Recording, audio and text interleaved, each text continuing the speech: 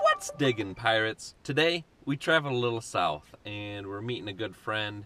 Uh, we call him the captain. Um, this is actually the same town where I met him. Shoot, that must have been like seven, maybe eight years ago. Um, it was within the first year or two that I started metal detecting. So we're hooking back up with him. We're gonna go hit the beach today. As far as the weather goes, it's a little rainy out and it looks like it's only gonna get a little bit more rainy. That's okay because we're gonna be in the water today and I mean if you're wet, you're wet. Who cares if you're swimming in it or if it's dumping on your head? But hopefully it'll be a good day. We're gonna get out there, we're gonna find some treasure, and we're just gonna have a good time. We're looking for gold, baby. All right, we'll see you guys in the water.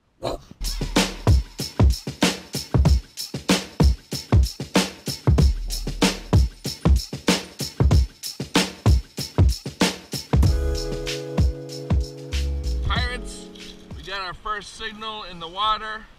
I've dug about three coins in the dry sand on the way down here. It's a bit sanded in. And what I mean about sanded in, it's really soft where I'm walking. It's not hard pack. And the hard pack is what you want. It looks like it's probably just a washer. We'll get it cleaned up. If by chance it's some type of token, um, I've also seen Chinese coins that have the holes in them like this. But I'm not gonna hold my breath on it. We'll keep, uh, uh, uh, yep, see, we just dropped it back in the water. This is why I have a metal detector. So when I can, when I drop things, you can find them. Hey, look who's back. Second target. Let's see what it is. Aluminum slag. All right. All right, third target. All right. 10 cents. All right, so we're working right along this little drop off where the waves are crashing. Basically what it's doing is pulling from the shelf of the beach and it's just bringing everything right down into this little deposit area. As you saw in that last scoop, we got a lot of rocks, a lot of gravel. Everything's kind of piling up right here. The bad thing is, if there's gold, it's gonna be below all of those rocks as well. All right, pirates, we need to have a heart-to-heart -heart talk.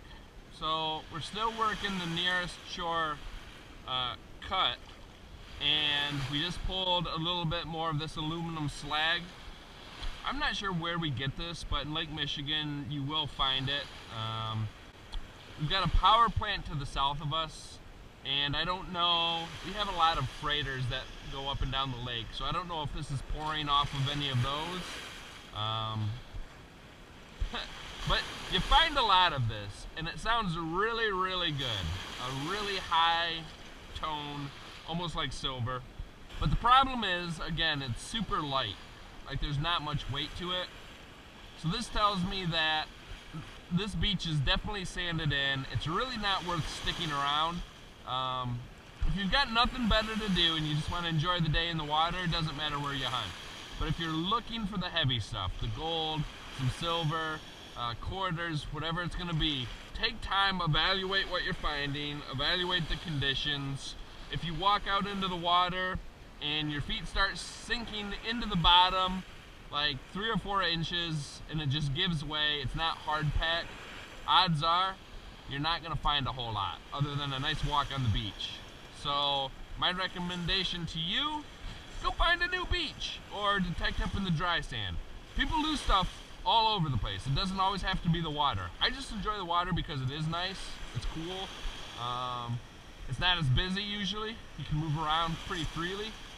Other than just me and my seagull friend today, we've pretty much got the whole place to ourselves because you can see we got rain in the horizon but that's all right.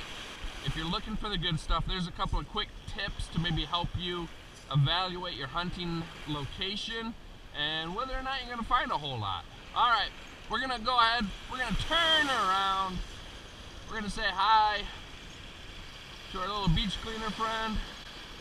Hey buddy. And then we'll hit the south beach, maybe it's a little bit better.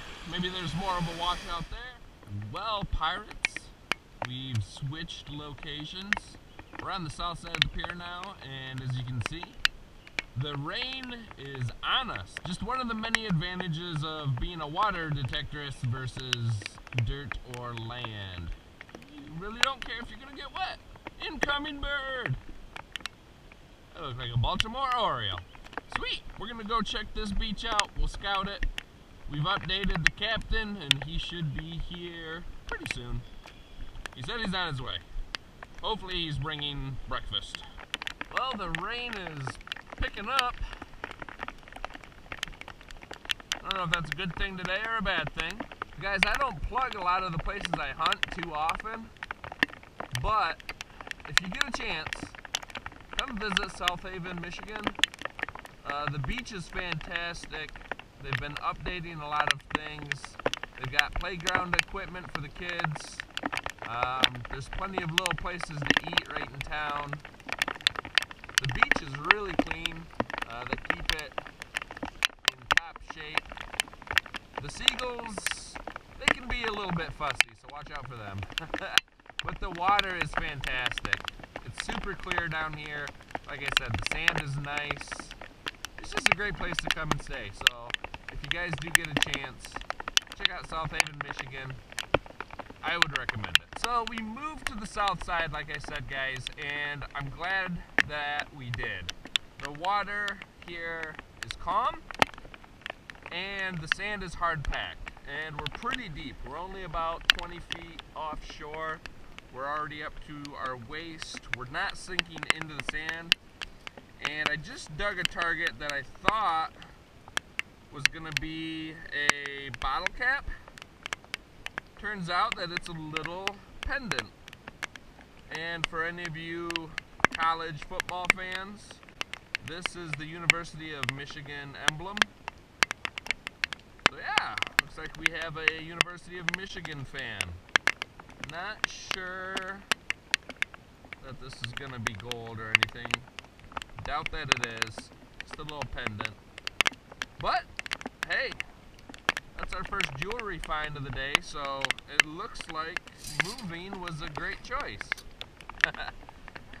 Alright guys, I had to turn I had to turn the camera back on because I just thought of a terrible joke that I have to tell you. And I'm probably going to title the video this. But instead of the University of Michigan, let's just pretend that that M stands for the University of Metal Detecting. Alright! I got schooled at the University of Metal Detecting. Alright, so now you guys know the joke, uh, and that's why we titled this video as such. Unless we find a big honking gold ring, then we'll title it Big Honking Gold Ring. Alright, enough of this crazy talk. Back to detecting. Alright guys, well it looks like we have the Excalibur set to small stuff today. Just pop this little earring out uh, it's nice and corroded, guessing that it's definitely junk jewelry. It was giving a terrible signal. Terrible. Uh, I pretty much wasn't going to dig it, but I'm working on trying to dig any false or null signals to see if they're just deep targets. And instead, we got some crummy jewelry. Alright guys, we're still working this cut. We got another signal down here. Had a couple in this area and I lost one of them. Oh, oh, check it out. Guys, you see what I see? That's a ring in the scoop. Ring in the scoop. All right. And this is why you move locations. When it's not working for you, it's just not worth staying. Treasure. Hey, it fits. Now I already got one of those guys. Notice that I don't have mine on though, because you'll lose it. don't wear your own jewelry metal detecting.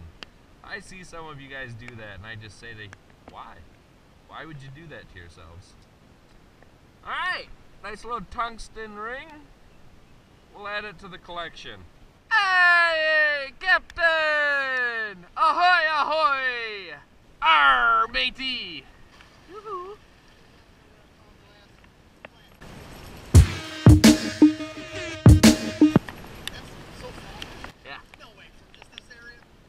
Alright, I'm messing with you. Yeah, you got I did. Um, I did find the uh, tungsten um, right out there. Let me see that there. What, what's it? A 52? Huh? Oh, give it a, give it a dig. Okay. Let's see. Let's see. You come out here, find one signal, and go home. Big old, big old, big old doubloon. It's like, yep. He's only got to come out here for for one signal. Oh, the famous pull tab. There's something you don't see every day. Got a nice little camera filter. I don't even know where the rain's coming from. Like, it. I know. a rusty something. Oh, Roman. Howard! Howard! Roman! It's period! It's period, Howard! It's Disney. Oh, that's pretty cool. We'll just return this to Disney. If anybody knows this girl, please leave a comment. Well, Captain, go any final words of wisdom?